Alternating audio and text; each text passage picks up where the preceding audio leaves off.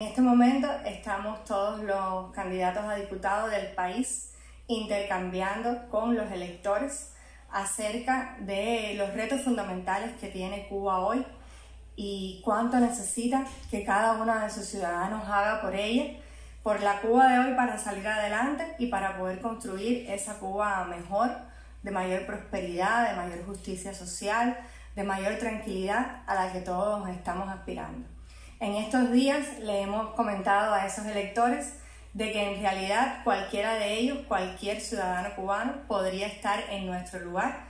porque en realidad las comisiones de candidatura eligen a los candidatos a diputados entre miles de propuestas que nacen de los plenos municipales de la Federación de Mujeres Cubanas, de los comités de defensa de la revolución, de todos los sindicatos, de la Federación Estudiantil Universitaria. O sea que en realidad los que vamos quedando finalmente como candidatos nacemos de una gran cantera de cubanas y de cubanos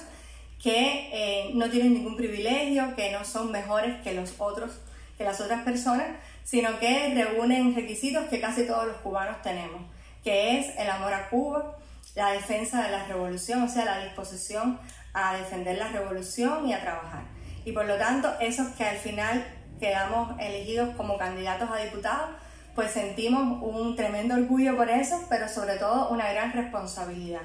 porque sabemos que vamos a estar representando a todos los cubanos en la Asamblea Nacional del Poder Popular, que es el máximo órgano de poder en Cuba y que por lo tanto nosotros estamos allí unos 470 personas, pero en realidad estamos allí en representación de toda Cuba. Y eso entraña esa tremenda responsabilidad y por tanto un gran compromiso de hacerlo cada vez mejor,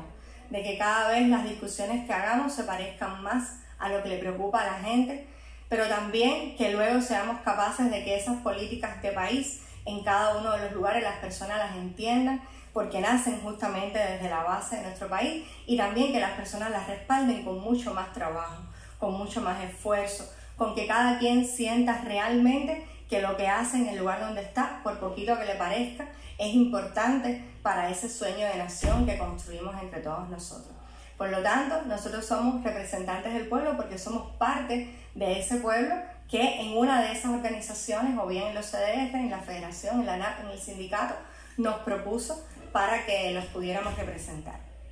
Y en el caso de las mujeres, pues esa responsabilidad es aún mayor, porque ya sabemos que en Cuba, sobre todo después del triunfo de la revolución,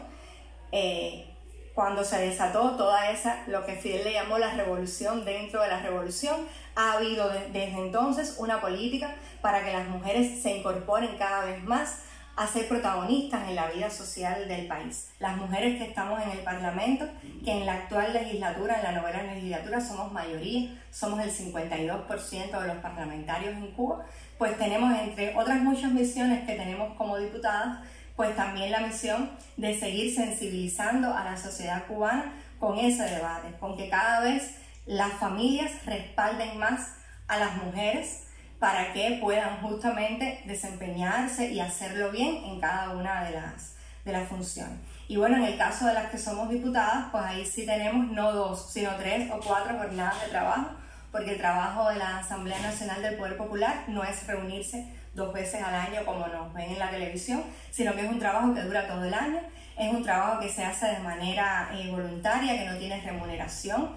es un trabajo que los diputados hacemos a la par de nuestras labores profesionales y de nuestra vida en familia y por lo tanto para las mujeres que tenemos el honor de estar en ese parlamento, pues sí significa, digamos, un esfuerzo adicional que tenemos que hacer para cumplir con nuestras responsabilidades como madres, como miembros de una familia, nuestras responsabilidades laborales y asumir también todo ese gran reto que significa estar todo el tiempo pendiente de la vida del país, eh, realizar los ejercicios de alta fiscalización que le corresponde a la Asamblea Nacional de cómo se cumplen en cada lugar las políticas del Estado, que además tenemos que buscar espacio para poder intercambiar con la población, con nuestros electores, para poder estar al tanto de lo que pasa en cada comunidad y ayudar a que se transformen las realidades que tenemos hoy en la comunidad. Y bueno, cuando además de eso tenemos hijos, pues entonces eh, yo creo que en realidad es un gran privilegio, es un gran honor, porque también estamos llevando allí al Parlamento, a la mirada